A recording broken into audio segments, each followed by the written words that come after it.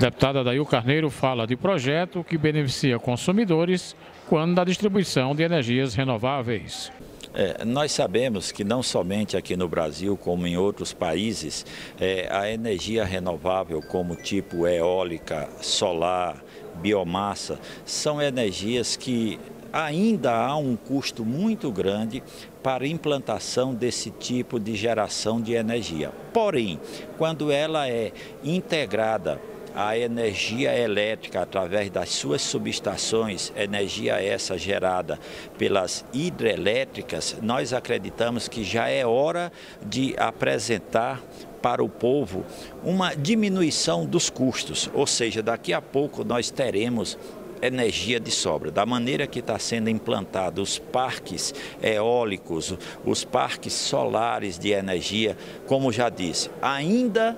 muito caros para implantação, mas já deve, ao ser integrado a energia elétrica gerada pelas hidrelétricas, deve sim, nós acreditamos que já é hora de ser oferecido um desconto ao consumidor final, quer seja consumidor residencial, quer seja consumidor comercial ou industrial. Portanto, nós apresentaremos esse projeto muito em breve para que seja assim avaliado pela comissão e a gente possa tocar à frente esse projeto, objetivando é, cada vez mais desonerar as condições de vida do nosso povo, do nosso trabalhador, desonerando a indústria, desonerando o comércio e desonerando, na verdade, o consumidor final, o consumidor pessoal.